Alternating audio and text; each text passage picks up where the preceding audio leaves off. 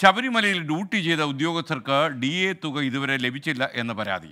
Cyber telecommunication വിഭാഗം ഉദ്യോഗസ്ഥന്മാരാണ് ഇങ്ങനെ D A ലഭിക്കാതെ പരാതി പറയുന്നത്. പണം നൽകേണ്ട ദേവസ്വം ബോർഡ് ഇതിനോടകം തുക സർക്കാരിന് കൈമാറിയെന്നാണ് ഉദ്യോഗസ്ഥന്മാർ പറയുന്നത്. എസ് ശ്രീകാന്ത് കൊച്ചിയിൽ നിന്ന്.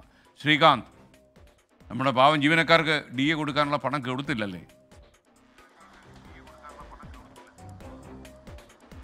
എസ് കെ വല്ലാത്തൊരു അവസ്ഥയാണത് കാരണം ഈ ഉദ്യോഗസ്ഥരൊക്കെ തന്നെ ശബരിമലയിൽ പത്തും പന്ത്രണ്ടും പതിമൂന്നും ദിവസം ജോലി ചെയ്യുന്നവരാണ്.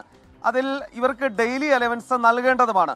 പക്ഷേ ഇത്തരത്തിൽ ടേൺ അനുസരിച്ച് ഡ്യൂട്ടി ചെയ്ത ഉദ്യോഗസ്ഥർക്കാണ് പോലീസ് ഉദ്യോഗസ്ഥർക്കാണ് ഇപ്പോൾ സർക്കാർ ഈ ഡെയിലി അലവൻസ് നൽകാത്തത്. സൈബർ ടെലികമ്മ്യൂണിക്കേഷൻ വിഭാഗം ഉദ്യോഗസ്ഥർക്ക് ഡി എ ലഭിച്ചിട്ടില്ല എന്ന് പരാതി ഉയർന്നിട്ടുണ്ട്. നവംബർ പതിനാല് മുതൽ മൂന്ന് ടേണുകളിലായി നൂറിലധികം പേർ ജോലി ചെയ്യുന്ന ഒരു വിഭാഗം കൂടിയാണ് ഇവർ. മൂന്ന് ടേണിൽ കയറിയവർക്കും പണം നൽകിയിട്ടില്ല നമ്മുടെ സംസ്ഥാന സർക്കാർ.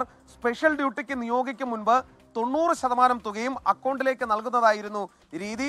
എഴുന്നൂറ്റമ്പത് രൂപയാണ് ഒരാൾക്ക് ഈ ഡി എ ഇനത്തിൽ കിട്ടുന്നതും. നിലയ്ക്കൽ പമ്പ സന്നിധാനം വണ്ടിപ്പെരിയാർ എരുമേലി എന്നിവിടങ്ങളിലാണ് ഈ പോലീസ് ഉദ്യോഗസ്ഥർ ജോലി ചെയ്യുന്നതും. പണം നൽകേണ്ട ദേവസ്വം ബോർഡ് ഇതിനോടകം സർക്കാരിന് തുക കൈമാറിയിട്ടുണ്ട് എന്ന് ഇവർ അന്വേഷിച്ചപ്പോൾ മനസ്സിലാകുന്നുണ്ട്. നമ്മുടെ തന്നെ കുറച്ച് സുഹൃത്തുക്കളായ പാവപ്പെട്ട ഉദ്യോഗസ്ഥരും ഈ കൂട്ടത്തിൽ ഉണ്ട്. എന്തായാലും സർക്കാർ ഇവരുടെ ഈ പ്രശ്നത്തിൽ ഇടപെടും എന്ന് നമുക്ക് പ്രതീക്ഷിക്കാം. അല്ലാതെ മറ്റു പോംവഴിയൊന്നും ഇല്ലല്ലോ. Okay thank you Srikanth. അവർക്ക് ഡി എ ഒക്കെ എളുപ്പം കിട്ടട്ടെ നമുക്ക് ആശംസിക്കാം.